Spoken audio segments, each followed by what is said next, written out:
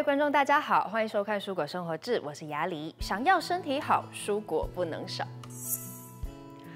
一位婚姻挫败的单亲妈妈，勇敢的不向命运低头，她用素食水饺串起了需要相互取暖、互助的家庭。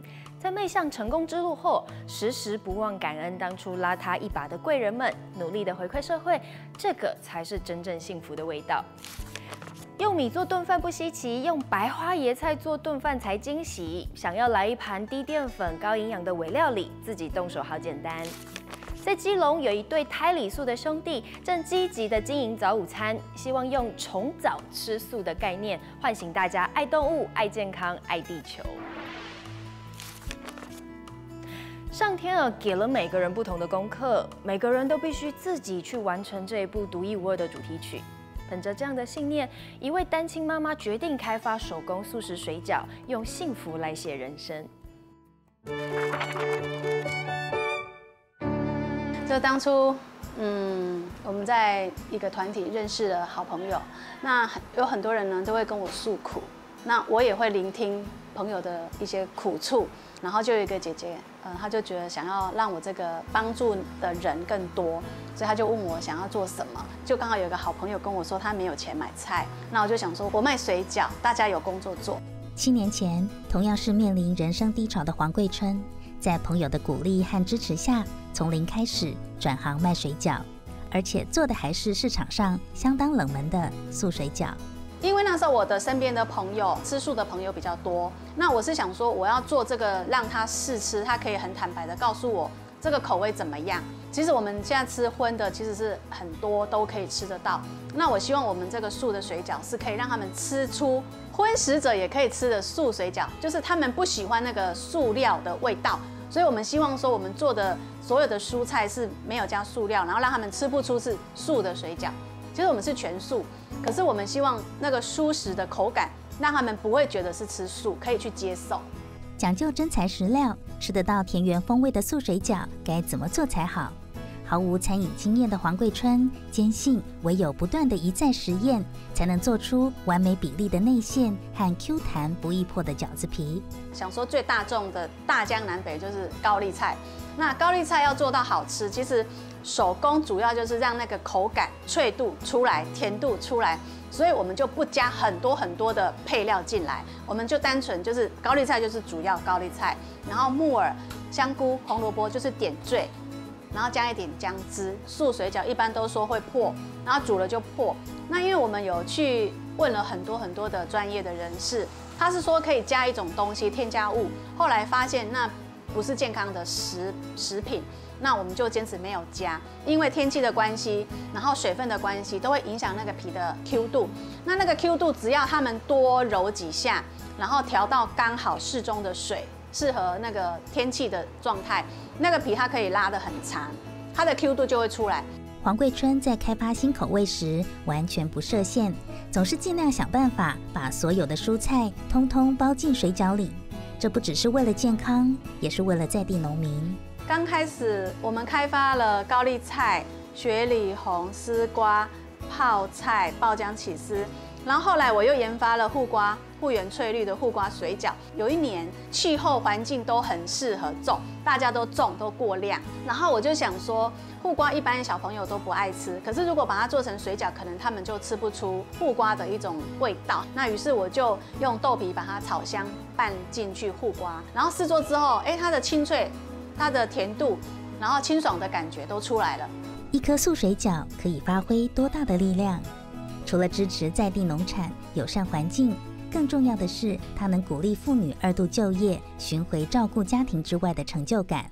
因为我自己也是单亲妈妈嘛，那有一些房贷的啊、经济的压力啊，那你会知道说，哎，你要照顾到家庭，可是你要有一份收入，所以。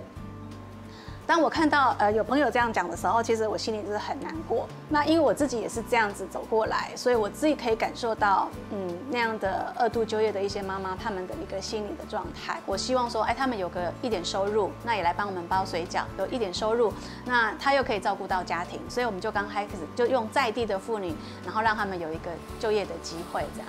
改变生活就是很多东西你要慢工出细活，你要一个好的东西，你真的要用心，然后才会知道它里面的怎么样做出好东西啊。其实你心态快乐，人就快乐。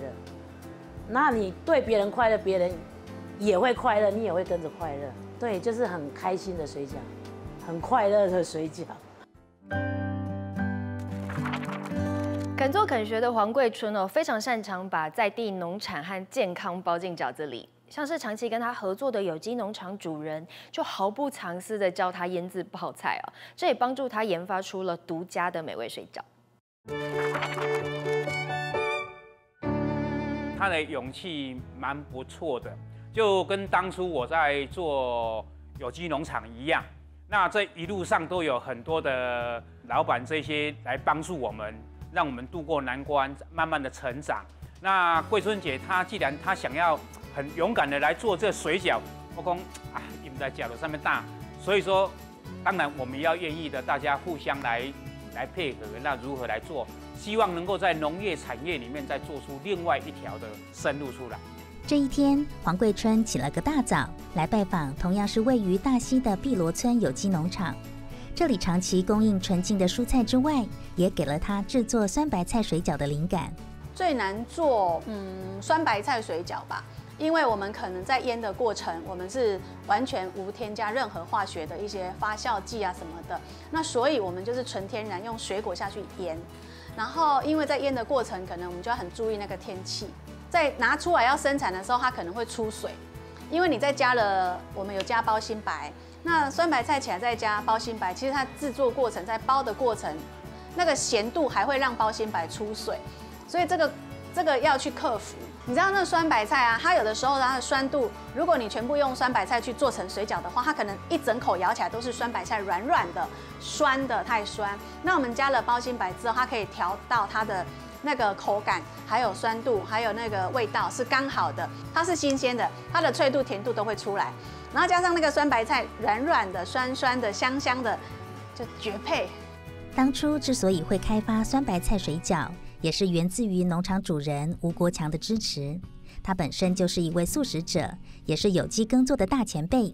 二十多年来，体系后辈，毫不藏私。其实大家都会有公这喜欢祖传呢，我怎么样怎么样？其实没有所谓的秘诀啦，就说你只要用心下去做，慢慢的细微去观察的话，你都能够找出它很好的制作方式。酸白菜的话，它一般我们做蔬菜类的腌制的季节都是要在冬季。为什么？因为冬季它低温，它低温的话，你腌制好了之后放在室外的话，它需要很长的时间来发酵。那你如果高温的话，马上就臭掉了。因为为什么？它还没有发酵的时候，它已经发臭了，因为温度太高。像我们一般我们用这种在腌制的话，我们最少要六个月以上。它的风味口感的话，你闻到它那种酸味的话，你就想流口水。哦，那它的外观的话，它当然是它的颜色是非常的漂亮。当然啦，清甜啦，又有带酸。成功的把酸白菜和包心白一起包进水饺里，黄桂春又做出了韩国泡菜水饺，内馅混合了火红微辣的泡菜、黄豆芽和白叶豆腐，也是另一种绝配的好滋味。在克服了食材容易出水的问题后，紧接着挑战的是令人意想不到的丝瓜面线水饺。我们在烫面线的时候不能烫太熟，然后那个面线呢就会去吸丝瓜的水分，就好包了。有一个客诉啊，他就说为什么我们偷工减料，然后呃你们是不是有一点名气，然后就在丝瓜水饺里面加了面线？我就跟他解释说，其实不是，你误会我了，因为我们从头到尾的丝瓜水饺都加了面线，那原因是因为我要让它吸水，让同事好包。他了解以后，他就变成我们的主顾客。黄桂春的手工水饺内馅不只是当季当令的在地蔬果，健康也是他相当重视的要件。因为这群妈妈们所做的就是一份暖心水饺，一种属于家的味道。一个成功的人背后，总有无数的贵人在支持着。黄桂春始终怀着感恩的一颗心，用自家的水饺和贵人做连结，好让这份情谊长长久久的延续下去。领着一群妈妈包水饺的黄桂春，想要有更多人来买水饺，当然还是得靠多方通路销售才行。从草创初期到现在，他仍然本着初心，用最大的诚意和店家们博感情。呃，当初桂春来的时候啊，他给我的感觉他就是很阳光、很有活力，告诉我说这个是他要创业啦。啊，听到创业，我就觉得哎还不错，因为我也是从零开始创业起来的，所以说我是希望说他能够成功。因为呃目前的话，在市面上大部分都是用呃一般的一些传统的加工的东西，或者是比较呃没有使用到一些的呃无毒的蔬菜。那那时候很讶异是它是。可以取用大溪当地的食材下去做，所以那时候我很开心，因为当初我们比较坚持就是天然有机的一些食材，所以其实理念，呃，一马上提出来，我就觉得说，哎，很棒。有愿就有利。现在除了七年前一路相挺的老店家，也有专门开发有机通路的经销商，主动一起来积极推广素水饺。我们在所谓的有机商店、有机通路这一块，事实上。素食的人口占了蛮大的一个比例，对。那我常常听到有朋友有素食的朋友在反映说，哎，他们其实上想找一个素食的食物或产品的时候，其实比较没有那么好找，或者有一些是它荤食跟素食是同时在生产的，那这个对产品来讲会有疑虑。既然是以照顾自家人和关怀姐妹为出发点，这手工素水饺做起来可是一点儿都马虎不得。而且还要跟着时代的潮流走，融合更多新鲜的元素。那像以水饺外观来讲，我们会尽量让消费者觉得这感觉是非常大颗的水饺。那一般水饺内馅的话，二十五克是比较刚好的一个重量。对，那它包起来感觉会很饱满。但是它又不至于说太饱满，让你煮的时候会爆开。水饺皮的部分一般都是用白面粉下去制作的，呃，就是说大家常见到白皮的水饺。那这边我们有增加了杂粮粉和螺旋藻粉进去。那除了说它的外观颜色看起来就是会比较美观以外，那事实上这些营养成分你在吃水饺的同时也会同步吸收。那包括加工完之后啊，也会做一个送验的动作，哦，做一个最后的把关，对，确保生产的过程是 OK 的，哦，没有受到污染的。那这样子一连串下来之后，我相信，呃，消费者接受度会很高的。原来水饺也有无限的可能。除了内馅可以包进美味和创意，就连外皮也能揉进营养和色彩，同时还能集结更多的力量，一起来推动友善蔬食。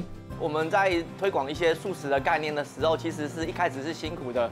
那呃，往往以前就是就是有宗教信仰，可是现在因为老化人口越来越多，那我们希望说大家可以就是共同来吃素，那就是以不杀生的概念，然后再就是呃，其实素食对免疫提升还有一些呃抗氧化的效果是都会对身体很棒的，所以是越越多人来做这个东西，我们是很越越开心的。这一颗颗的手工素水饺里，深藏着对食物、对土地的热情，也诉说着人与人之间互信互助的美好。这就是黄桂春奋斗多年、努力追求的幸福味道。人生的生命的这个一个过程是最重要的，不管你在生活中你遇到了什么的问题，我们就是去面对它。那我觉得我陪伴的同事还有我的客人，那我我我跟他们的相处就是我们结这个善缘。那我们也希望在这里工作的人，他可以把这里当做是他的一个呃下一个工作的跳板，然后我们会找到更好的工作，像把他嫁女一样的嫁出去。那利用这样子的一个大家结善缘的概念，然后让互相帮助，然后让大家都有工作做。我现在觉得我很幸福。想吃饭又担心淀粉会过量吗？不妨试试用白花椰菜来取代白米，一样能够做出具有口感又清爽的奶香炖饭哦。呃，通常有一些人他无法吃淀粉，那他们就会以白花椰来代替白饭，它的营养啊是非常的高，比白米饭还要高。所以呢，我们通常就是淀粉呢少了一半，然后营养价值也非常的高。白花椰是十字花科的抗氧化食材，尤其是它的味道温和清淡，不论是什么样的料理方式都很适合。当然，只要巧妙的运用刀工，就能拿白花椰来代替白米饭。今天要做的是芦笋白花椰炖饭，所以我今天准备的是我们在地的台湾的品种，因为刚好季节，然后非常的水分啊多啊，然后纤维也非常好吃。本土的话呢，它的感觉上会比较松，那进口的话会很扎实。所以呢，我在挑选的时候我会用本土，因为我觉得口感会比较好。那如果你买进口的话，它只是会脆脆的口感，但是没有那些蓬松的口感。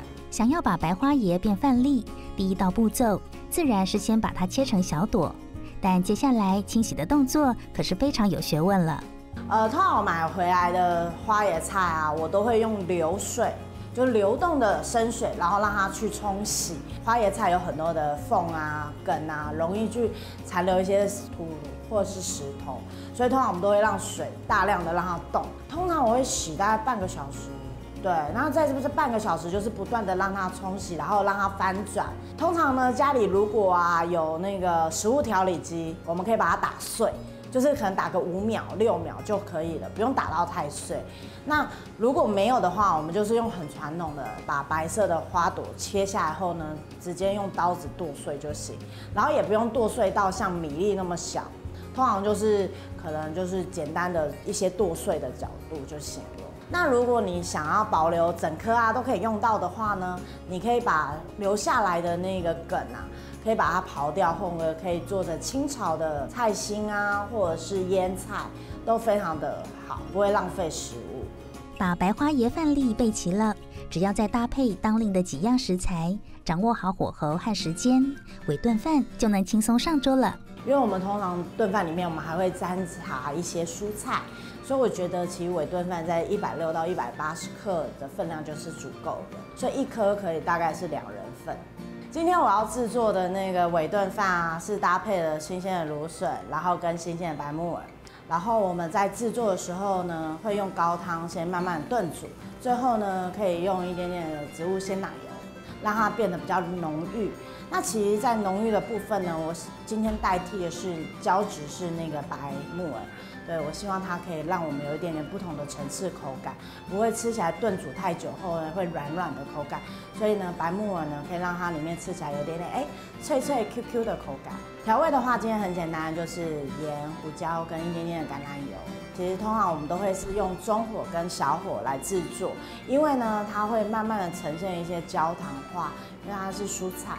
那呃，我通常啊，就是希望在炖煮的时候，小火炖煮大概十五分钟到二十分钟，不要超过。所以我还是会保持它一点点脆口感。我觉得很特别的地方是，尾炖饭吃起来跟奶油炖饭很像，然后尤其是可以当晚餐，清爽健康无负担。口美食何其多，有一家素食水煎包，在开了四年之后呢，选择结束营业。让许多老客人纷纷喊说：“哦，真的好可惜哦！”但是呢，就在沉寂半年之后哦，老板兄弟俩又再度回归舒适圈。这次他们要用早午餐叫大家 wake up。我觉得最大优点就是我们是兄弟。对，虽然说会吵架，一定会吵，但是我觉得兄弟就是吵完就是下一秒就就结束了。就是无坚不摧了，我觉得，因为我爸常跟我们讲说，怕后两差亲兄弟啊，就是兄弟只要靠在一起，就绝对不会有问题，就对了。那这是我们最大的优势。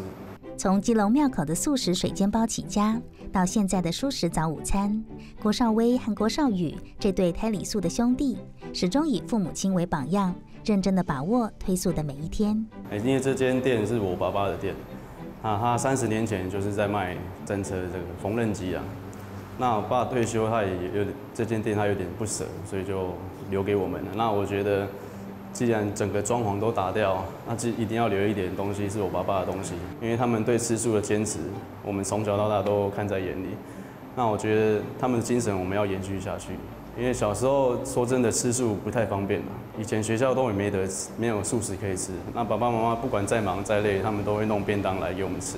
那我们应该把这一块延续下去，这样。对，所以就是特别留一台缝纫机。怀着感恩的心，郭家两兄弟一直思考着如何让素食更加大众化、年轻化。因此，他们决定用自己喜爱的早午餐再出发。当然，过去庙口的招牌水煎包也巧妙地变身成手工煎饺。煎饺部分是沿用水煎包的血统去做出来的，所以很多来这边点煎饺的的客人就会说：“哎。”你们这你们是那个庙口那个水煎包那个？我说对对对，我是那个，因为吃起来的味道几乎是一样的，对。对我我不喜欢加一些什么素肉啦，然后豆干什么的。我想说，我的口味上就是要让客人吃到就是就是青菜这样天然的调，不要过度调味，青菜冬粉就这样而已。我会去选择说用那个高山高丽菜去做，因为如果你用便宜的高丽菜去做的话，你你这样东西出来是不好吃。只有高山的高丽菜做这种调味才有办法好吃。口感差很多，因为进口的吃起来就干干的，没什么味道那样。店里早午餐菜单的设计也囊括了各年龄层所需，即使是老中青一家人一起来用餐，也都能吃得尽兴。而一向专攻餐饮的弟弟郭少宇，更是每天自制青酱，好延伸出多元化的招牌料理。青酱我们是用九层塔下去打成泥状，然后再加上一些橄榄油。然后调制而成的，其实一罐酱看起来好像没什么，其实它要用非常大量的酒精打去打，去打，所以成本也是不便宜这样。其实老老实说卖不完，可能就自己吃掉。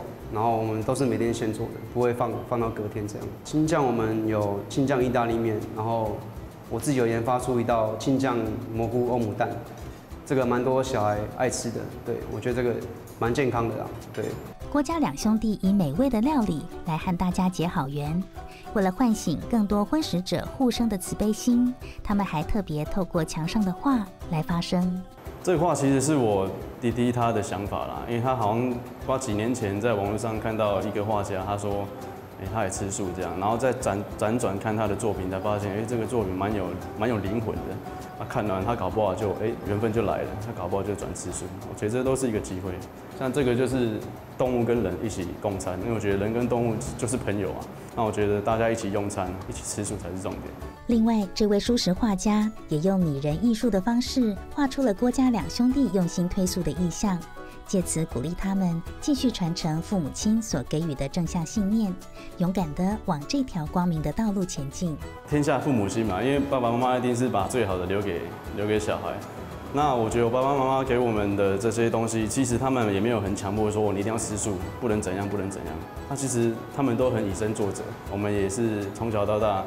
耳濡目染，觉得说，哎，吃素这块好像很不错啊。不管怎样，我觉得这个吃素这种东西，也不用特别强调说，哦，你要吃素干嘛？吃素干嘛？我觉得这是有时候也是一种缘分呐。因为妈妈从以前十几年前就在卖素食的那样，然后她会告诉我们多做生意不能偷工减料，就算菜贵也是一样要给人家一样的分量。交代我们的事情就是不要怕辛苦那样，一定要认真做好每一份餐点那样，不能让客人失望。对。素食创业原来也是大有可为，不以盈利为目的，而是以推素为志向，广结善缘，福气自然就跟着来喽。坚持对的事啊，做就对了。蔬果生活志告诉您舒适大小事，谢谢您的收看，我们下次见。